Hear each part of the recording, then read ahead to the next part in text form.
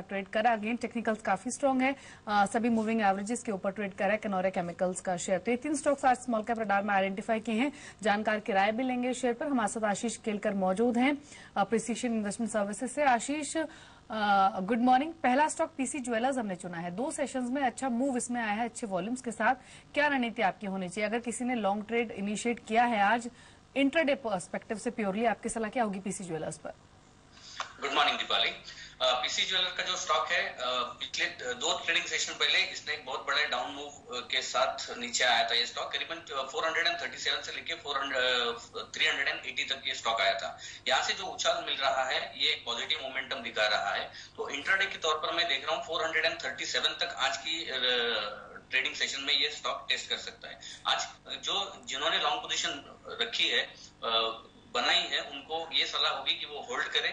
437 के लिए यहाँ पे वो रिव्यू ले सकते हैं। उसके ऊपर अगर क्लोज होता है तो 455 तक ये स्टॉक ट्रेड कर सकता है। जी तो मानते हैं आशीष यहाँ पर कि पीसी ज्वेलर्स अगर आज आपने इंटरडे के लिहाज से खरीदारी की है तो होल्ड कीजिए। चार सौ सैंतीस तक के स्तर इंटरडे में दिखा सकता है। खरीदारी भी कर सकते हैं मौजूदा लेवल्स पर। 437 के टारगेट्स के लिए यानी मौजूदा प्राइस से भी दस रुपए तक का अपसाइड आपको इसमें मिल सकता है।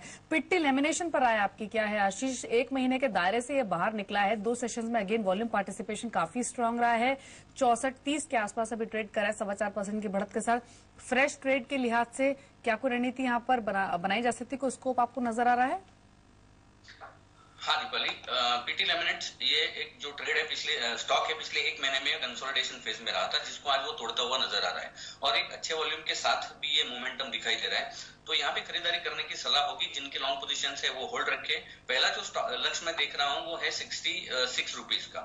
अगर ये सिक्सटी सिक्स तोड़ता है तो अगले कुछ ट्रेडिंग सेशन में ये सेवेंटी वन तक भी जा सकता है। तो यहाँ पे भी खरीदारी करने की सलाह होगी। उसके लिए हम स्टॉप लॉस रखेंगे सिक्सटी टू रुपीज़ फिफ्टी पैसे का। और पहला लक्ष्य देखेंगे हम सिक्सटी सिक्स रुपीज़ का।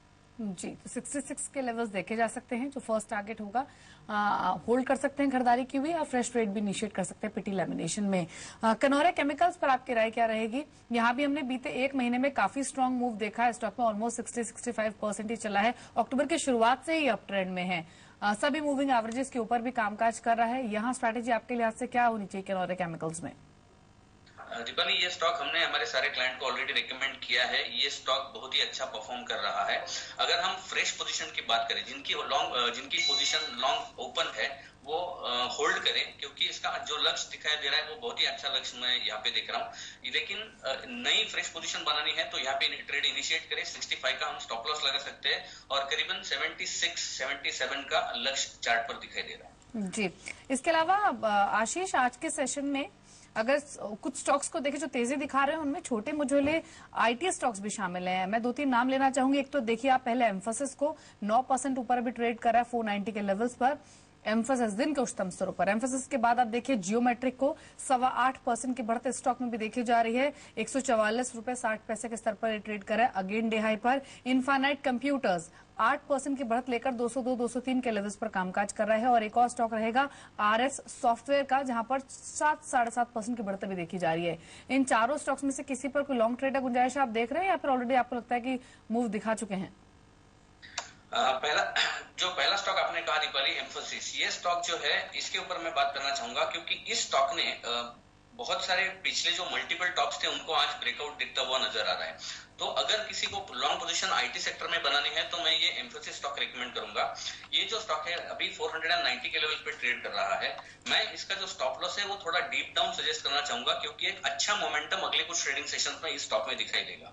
तो इसका मैं स्टॉप लॉस जो रिकमेंड करना चाहूँगा करीबन 470 का।